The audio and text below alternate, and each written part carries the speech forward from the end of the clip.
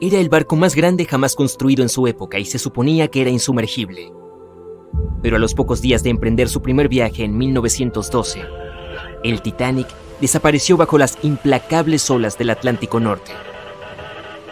Y de sus más de 2.200 pasajeros y tripulación, solo 706 sobrevivieron aquella terrible noche.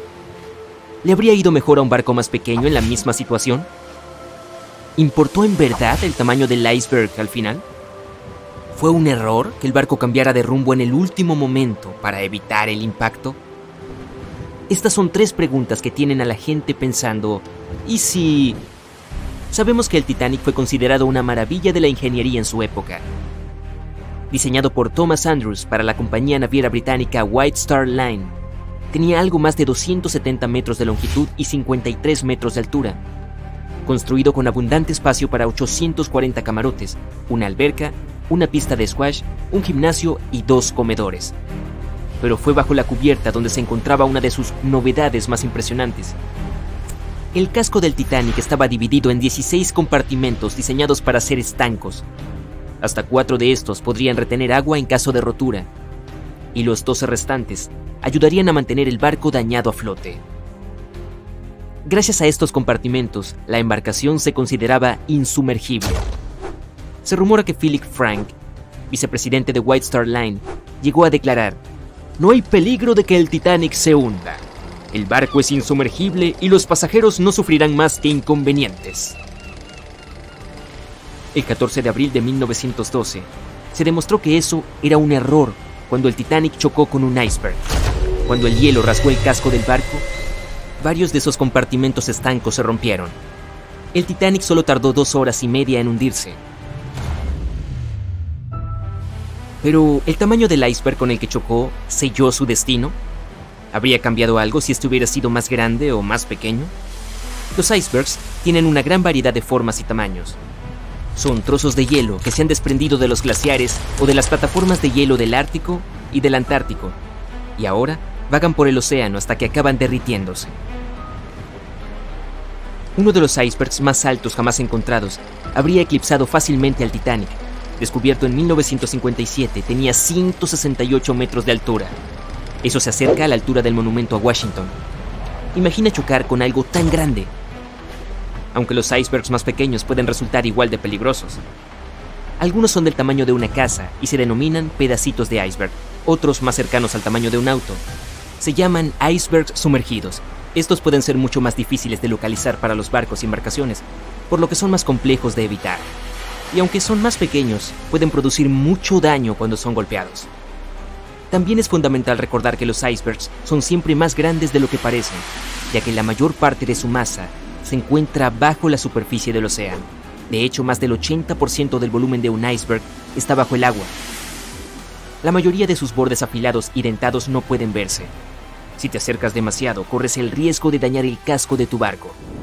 Dado que el Titanic no se percató de su inminente destino, un iceberg más pequeño golpeado en el mismo ángulo podría haber sido suficiente para hundir al poderoso barco. Ahora bien, es posible que si el iceberg hubiera sido más grande, se hubiera detectado antes. El Titanic podría haber tenido tiempo de cambiar el rumbo y evitar el impacto.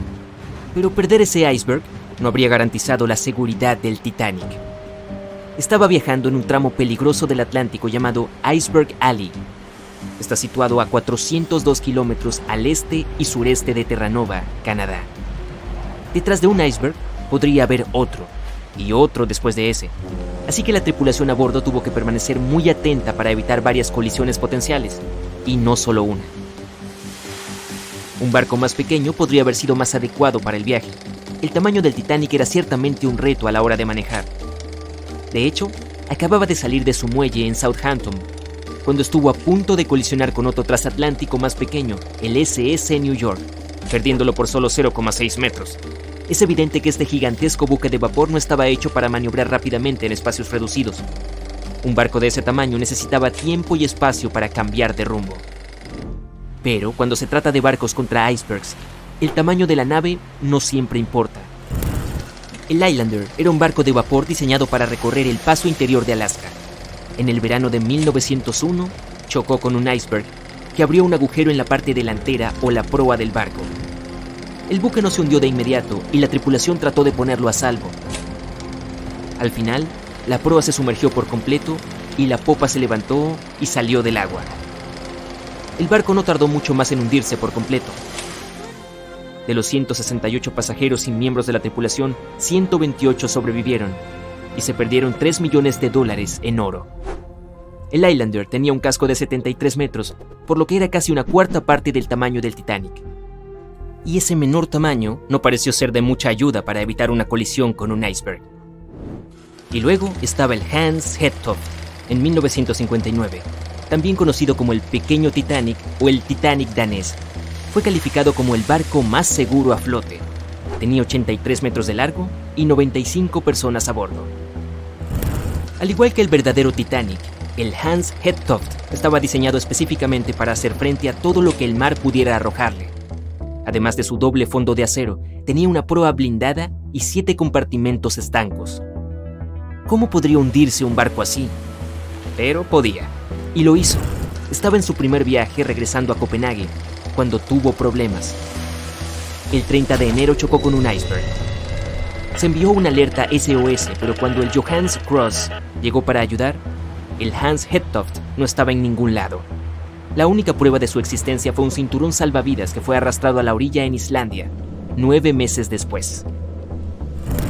Una vez más, el tamaño más pequeño del barco no jugó a su favor. Un menor tamaño del Titanic no habría garantizado un viaje seguro en 1912.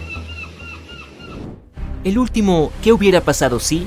Se refiere a la elección de último momento cuando se divisó el iceberg y sonó la alarma. En primer lugar, el Titanic podría intentar detenerse por completo, pero esto no era una opción, ya que el barco necesitaba 800 metros para hacerlo, y el iceberg estaba a solo 274 metros de distancia. En segundo lugar, el Titanic podía intentar evitar el iceberg alejándose de él. Esto fue lo que el capitán ordenó. Pero el intento fue infructuoso, resultando en un profundo corte en el casco del barco. La última opción chocar con el iceberg de frente. Pero, ¿esto habría cambiado algo? La respuesta es un intrigante quizá. Algunos piensan que una colisión frontal habría salvado al Titanic.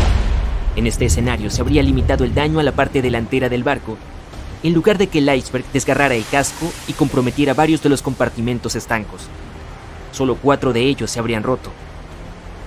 Esto hubiera significado que los otros podrían haber hecho su trabajo de mantener el Titanic a flote el barco podría haberse atascado, sin poder moverse, pero hubiera permanecido sobre el agua hasta que llegara la ayuda. Esto hubiera proporcionado a un barco como el Carpathia el tiempo suficiente para llegar al lugar del accidente y poner a salvo a la gente a bordo. Uno de los diseñadores del Titanic, Edward Wilding, hizo una afirmación similar durante una investigación sobre el hundimiento. Sostuvo que la mayoría de las personas habrían sobrevivido a un choque frontal y que el Titanic en sí mismo no se habría hundido. Sin embargo, otros no están de acuerdo. En primer lugar, los mamparos especiales del Titanic se diseñaron específicamente para proteger al barco de colisiones con otros buques, no con icebergs. Estos compartimentos se arrugaban en caso de impacto, absorbiendo parte de la fuerza, mientras que el otro barco absorbía el resto. Aunque los daños seguirían siendo importantes, los mamparos restantes mantendrían al barco a flote. Pero un iceberg no tiene la misma flexión en una colisión que la que experimentaría con otro barco. La mayor parte de la fuerza sería absorbida por el Titanic, lo que provocaría mayores daños en el barco. Peor aún, el impacto se llevaría a través de toda la longitud de la nave. Los remaches reventarían, las costuras se romperían, los compartimentos se inundarían velozmente y el barco se hundiría aún más rápido, con lo que habría menos supervivientes.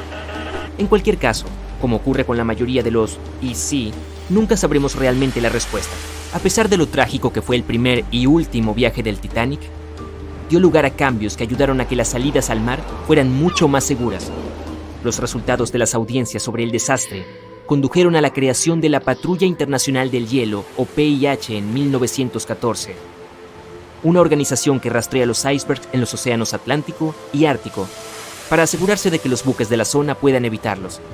En Estados Unidos y Gran Bretaña, los barcos estaban obligados a llevar suficientes botes salvavidas para acomodar a todas las personas a bordo se hicieron obligatorios los simulacros regulares de botes salvavidas, y por último los mamparos de los barcos se hicieron más altos para evitar que entrara el agua, y los fondos se estiraron para crear dobles cascos, ayudando a que los compartimentos fueran realmente impermeables. No se puede negar que la del Titanic fue una tragedia terrible, pero las lecciones aprendidas de esa noche para recordar han ayudado a prevenir muchas más.